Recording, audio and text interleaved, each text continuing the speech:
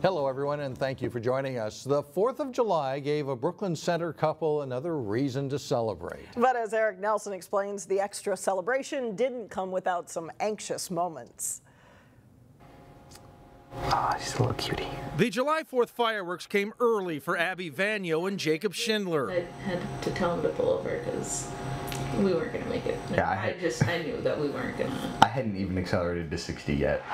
Abby gave birth to Griffon Schindler Monday morning on the side of I-94 in Minneapolis as the couple was en route to Abbott Northwestern Hospital. We both yeah. still thought we were going to make it to the hospital. We just thought it was yeah. going to be no epidural. We Baby Griffon, however, had other ideas and couldn't wait any longer. Her whole labor and delivery was a half hour. With the help of the Minnesota State Patrol and Minneapolis firefighters. I can't thank the, the state yeah. troopers and the EMTs enough.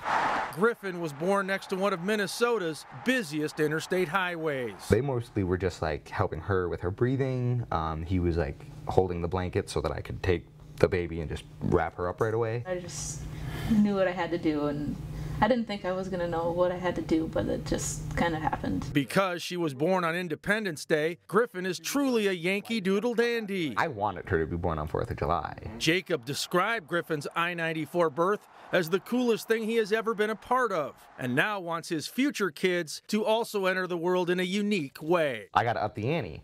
Now it's got to be twins on the side of a mountain. in Minneapolis, I'm Eric Nelson, Channel 12 News.